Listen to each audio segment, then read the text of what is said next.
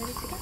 Yeah, yeah. Hi everyone. Today um, we're doing an insignia bonding, and I thought it'd be nice to show you. This is Dave, and uh, Dave's already got his upper arch bonded, and now we're doing the lower. As you know, insignia is this um, indirect bonding, customized brackets, customized wires. We've got this insignia sort of tray, and we've put some. The, the key is whenever you're doing customized bonding or indirect bonding, you actually want to just um, use a thinner, lighter viscosity composite, okay? Don't use a thicker one. Make sure it's spread all around the bracket base.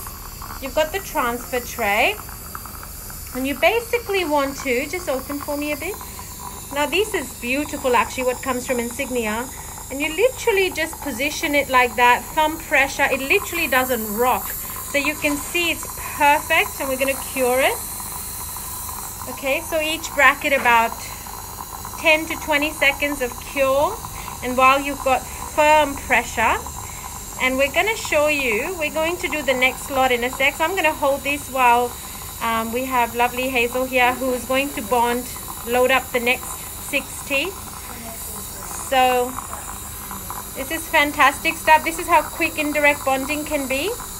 Okay, so we're just trying to cure as best as we can, like a flash cure. Um, and eventually we'll remove this tray and do a tiny bit more cure after. Make sure you get around each bracket very well. Don't just do a few seconds.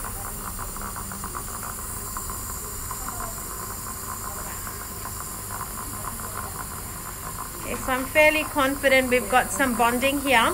So what we're going to do next is we're going to bond. So Insignia tells you how the brackets are going to be. So we've got group jigging 654, 3 to 3, then um, 654. So we've just bonded 654. Now we're going to do 3 to 3, okay? So we've got the surface etched and we're just gonna dry. It's all nicely etched.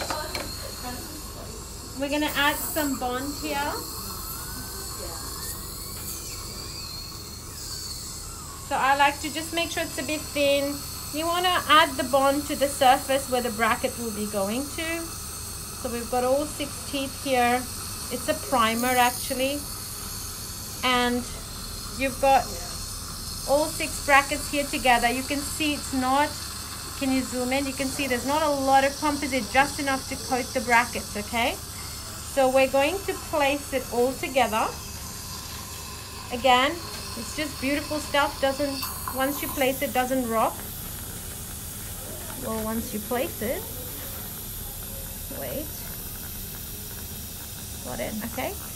So once you get it right down there okay it's thumb pressure and then we'll be curing it.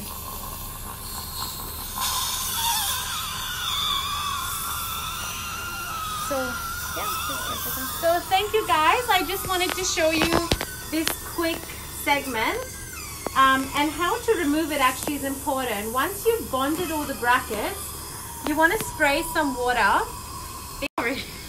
The seal that connects the bracket actually um, to the transfer tray is water soluble.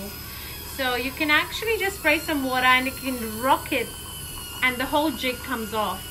Okay, so uh, we might go live later as we're removing these jigs. So thank you for watching. Have a fantastic day. Hi guys, so now we're going to do part two. Um, and uh, Dave's got these uh, bonded trays. So we bonded 654, 3 to 3, then 654. And these transfer trays are still there. I love these ones. So what we're going to do to facilitate removal, right?